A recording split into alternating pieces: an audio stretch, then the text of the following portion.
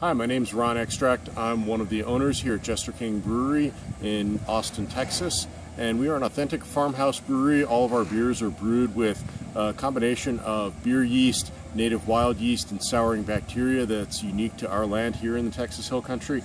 And we'll be featuring three of those beers this weekend at the DFW Untapped Fest.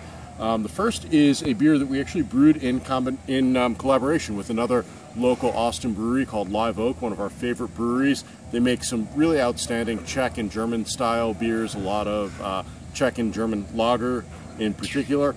And um, we, we love what they do with that, so we asked them to produce a Pilsner malt for us um, that we then brought here to ferment with our blend of different yeast and bacteria. Um, and this beer, the resulting beer, is called um, Kollaborationsbier mit tschechischem Hopfen und wilder Bakterien Hefe Kombination, or just Kollaborationsbier for short, or collaboration beer.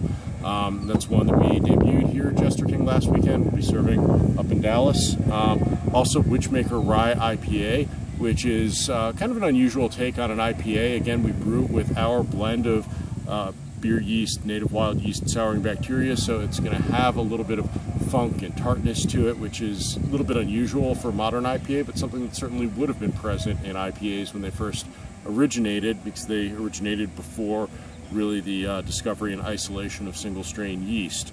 So uh, we brew this with some American hops and some rye malt, giving it nice kind of fruitiness, uh, a lot of tropical notes, which play nicely off of some of the tartness that we get from the souring bacteria and the funk from the wild yeast.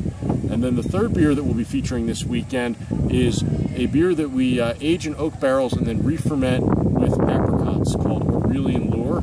Um, re-fermenting sour beer with fruit is something that we really like to do at Jester King. The re-fermentation part of that is very important because we're not adding fruit to sweeten the beer, we're not adding it just as a flavoring, but as an integral component of the fermentation. The sugar in the fruit ferments out to dryness, and the result combines some of the character, some of the flavor and the aroma of the fruit with the flavors and aromas of the beer itself. And this beer will actually be poured from a, uh, a gravity keg. So rather than being dispensed from the bottle, uh, it'll be a very old school type of keg that just sits up on the table and is poured by gravity. Uh, the beer is naturally conditioned in that keg. All of our beer is 100% naturally conditioned in the vessels from which it's served. So whether that's bottle, keg, gravity keg, cask, um, all 100% naturally conditioned.